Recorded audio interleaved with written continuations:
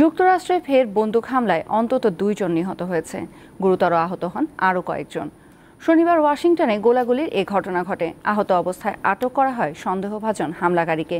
জিজ্ঞাসাবাদের জন্য হেফাজতে নেওয়া হয়েছে তাকে। পুলিশ প্রধান বলেন, কী কারণে গুলি চালানো হয়েছে তা স্পষ্ট হওয়া যায়নি। যুক্তরাষ্ট্রে ফের বন্দুক হামলায় অন্তত দুইজন নিহত হয়েছে। গুরুতর আহত হন আরও কয়েকজন।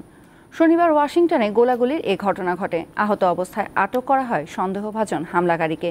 জিজ্ঞাসাবাদের জন্য হেফাজতে নেওয়া হয়েছে তাকে। পুলিশ প্রধান বলেন, কী কারণে গুলি চালানো হয়েছে তা স্পষ্ট হওয়া যায়নি।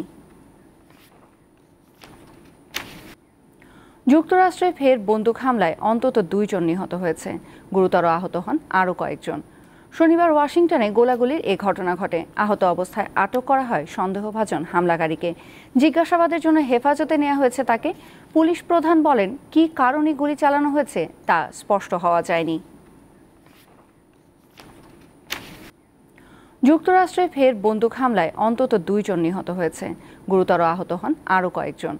শনিবার ওয়াশিংটনে গোলাগুলির এ ঘটনা ঘটে। আহত অবস্থায় আটক করা হয় সন্দেহভাজন হামলাকারীকে। জিজ্ঞাসাবাদের জন্য হেফাজতে নেওয়া হয়েছে তাকে।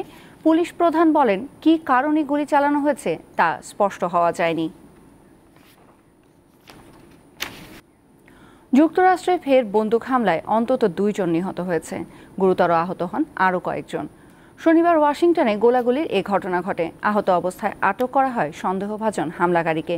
জিজ্ঞাসাবাদের জন্য হেফাজতে নেওয়া হয়েছে তাকে। পুলিশ প্রধান বলেন, কী কারণে গুলি চালানো হয়েছে তা স্পষ্ট হওয়া যায়নি। যুক্তরাষ্ট্রে ফের বন্দুক হামলায় অন্তত দুইজন নিহত হয়েছে। গুরুতর আহত হন আরও কয়েকজন। শনিবার ওয়াশিংটনে গোলাগুলির এ ঘটনা ঘটে। আহত অবস্থায় আটক করা হয় সন্দেহভাজন হামলাকারীকে।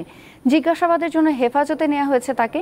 পুলিশ প্রধান বলেন, কি কারণে গুলি চালানো হয়েছে তা স্পষ্ট হওয়া যায়নি। যুক্তরাষ্ট্রে ফের বন্দুক হামলায় অন্তত দুইজন নিহত হয়েছে।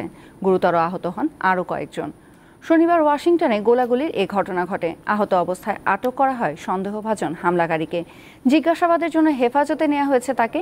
পুলিশ প্রধান বলেন, কী কারণে গুলি চালানো হয়েছে তা স্পষ্ট হওয়া যায়নি। যুক্তরাষ্ট্রে ফের বন্দুক হামলায় অন্তত দুইজন নিহত হয়েছে। গুরুতর আহত হন আরও কয়েকজন। শনিবার ওয়াশিংটনে গোলাগুলির এ ঘটনা ঘটে। আহত অবস্থায় আটক করা হয় সন্দেহভাজন হামলাকারীকে। জিজ্ঞাসাবাদের জন্য হেফাজতে নেওয়া হয়েছে তাকে। পুলিশ প্রধান বলেন, কি কারণে গুলি চালানো হয়েছে তা স্পষ্ট হওয়া যায়নি।